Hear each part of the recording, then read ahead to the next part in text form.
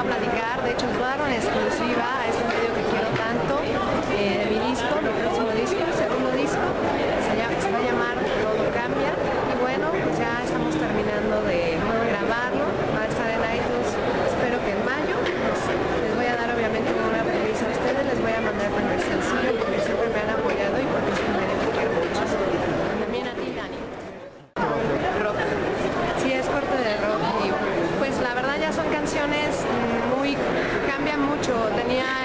disco a Enjambre como productores.